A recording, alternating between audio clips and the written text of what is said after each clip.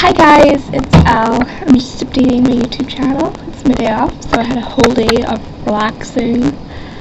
Um, tomorrow me and Tyler are doing a charity gig thing, so I'm getting plenty of rest for that. Um, at the moment I'm just playing Nintendo Wii. Well, my hamster's making a bit of a noise. Um, well actually I'm checking my YouTube messages, which can take a while. Shut up, Cassie. But I've been playing Wii all day, and I want to play Wii later on. Super Mario. Super.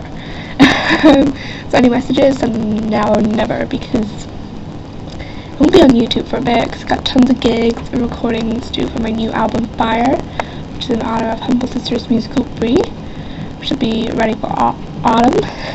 It's not really an album, it's sort of a bonus feature to help the publicity for Humble Sisters and when somebody plays Take That Hamster out.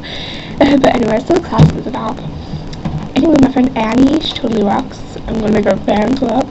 Um, is gonna be managing my channel and stuff, but I will be back, mark my words. Um, yeah, Annie's great. um, thanks for all your continuous love and support. You guys rock. Um, let me know what you're all up to. Um, and getting your messages.